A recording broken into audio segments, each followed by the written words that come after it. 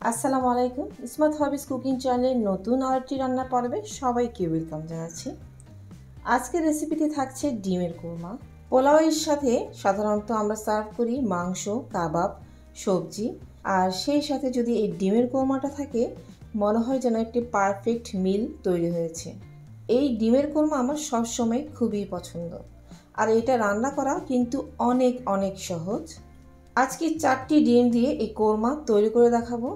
যারা আমার পুরনো ভিওয়ার্স রয়েছেন, তারা নিশ্চয়ই জানেন, আমি যে কোনো রেসিপি খুব অল্প পরিমাণে তৈরি করিয়ে দেখিয়ে থাকি। এতে করে যারা ছোট ফ্যামিলি তাদের কিন্তু অনেক কাজে আসে আমার এই রেসিপিগুলো তো বাসায় যেহেতু আজ পোলাও রান্না করেছি, সেই সাথে এই ডিমের কোরমাটাও রেখেছি। তাহলে চলুন, কথা না বাড়িয়ে ঝটপট রেসিপিতে যাওয়া যাক। চারটি ডিম সিদ্ধ করে নিয়েছি, আর চারপাশে ছুরি দিয়ে অল্প করে দাগ কেটে নিলাম। এতে করে তেলে ভাজার সময় ছিটে গায়ে পড়বে না। সামান্য লবণ মাখিয়ে নিচ্ছি। দুই থেকে তিন টেবিল চামচের মতো তেল গরম করে এতে দিয়ে দিচ্ছি সিদ্ধ করে রাখা ডিমগুলো হালকা একটু ভেজে নিচ্ছি। দেখতে পাচ্ছেন সামান্য একটু রঙটা চেঞ্জ হয়ে গিয়েছে। ডিমগুলো তুলে রাখছি আর একই তেলে আমি রান্না করব। তো রান্নাটা শুরুর আগে একটা পেস্ট তৈরি করছি। চেষ্টা করবেন আমি যা যা উপকরণ দিয়েছি সেই সব দিয়ে দিতে। একটি ছোট বাড়িতে নিয়ে নিচ্ছি তিনটে কাঁচামরিচ, চার পাঁচটি কাজু বাদাম, কটা কাপের মতো পেঁয়াজ কুচি আর এক টেবিল চামচ টক দই। সেই সাথে দিয়ে দিচ্ছি এক টেবিল চামচ পানি। এবার এগুলো আমি ভালোভাবে ব্ল্যান্ড করে ফিরে আসছি। মিশ্রণটি তৈরি হয়ে গিয়েছে দেখতে পাচ্ছেন? সরিয়ে রাখছি। আবারও ফিরে এলাম রান্নায়। অবশিষ্ট তেলে আমি দিয়ে দিচ্ছি তেজপাতা, একটি এলাচি দুইটি, দারচিনি একটি আর লং দুইটি। ভেজে নিচ্ছি। এই পর্যায়ে চুলার ফ্লেম রয়েছে মিডিয়ামে। এবার কুচি করে রাখা পেঁয়াজ কোয়ার্টার কাপ দিয়ে দিচ্ছি। তো ভেজে নিচ্ছি। এবার দিয়ে দিচ্ছি আদা বাটা, আধা চামচ আর রসুন বাটা, আধা চামচ। ভালোভাবে মিশিয়ে নিচ্ছি আর সেই সাথে পেঁয়াজ, রসুনের কাঁচা গন্ধটাও চলে যাবে। এবার তৈরি করে রাখা মিশ্রণটা এতে দিয়ে দিচ্ছি। সামান্য একটু পানি দিয়ে দিচ্ছি।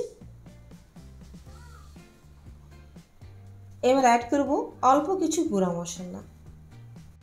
এখানে রয়েছে প্রায় কোয়াটার চামচের মতো মরিচ গুঁড়া ধনে গুঁড়া, জিরা গুঁড়া। সামান্য পানি মিশিয়ে নিলাম। দিয়ে দিচ্ছি আধা চামচ লবণ। এবার অ্যাড করছি প্রায় আধা কাপের মতো তরল দুধ।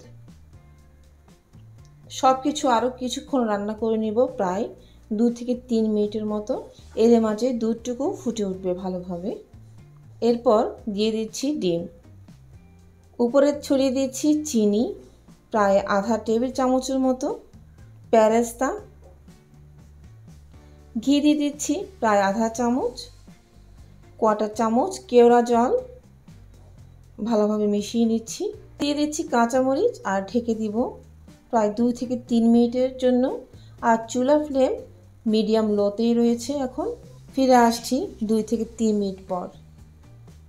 যারা এর চেয়ে বেশি ডিমের কোরমা করতে চান তো এই রেসিপিটা ফলো করে ইনগ্রিডিয়েন্টসগুলো দ্বিগুণ করে নিলেই চলবে। সার্ভ করে দেখাচ্ছি। আশা করছি আমার আজকের রেসিপি সহজ লেগেছে। ভালো লেগে থাকলে একটি লাইক চাই, সেই সাথে চ্যানেলে নতুন হয়ে থাকে চ্যানেলটিকে সাবস্ক্রাইব করার অনুরোধ করছি। আর যারা ফেসবুক থেকে দেখছেন পেজটিকে ফলো দিয়ে বন্ধু হয়ে পাশে থাকবেন, আশা করছি। উপরে ছড়িয়ে দিচ্ছি কিছু ব্যারেস্তা আজ তৈরি করেছিলাম পোলাও, চিকেন রোস্ট। সেই সাথে এই ডিমের কর্মটাও সার্ভ করলাম। এই ঝরঝরে পোলাও রেসিপি অথবা এই রোস্ট রেসিপি যদি পেতে চান লিঙ্ক আমি ডিসক্রিপশনে দিয়ে দেবো, দেখে নিতে পারেন। আজ বিদায় নিচ্ছি। ইনশাল্লাহ নতুন কোনো রেসিপি নিয়ে খুব তাড়াতাড়ি আবারও ফিরে আসব। ভালো থাকবেন সবাই। আল্লাহ হাফেজ।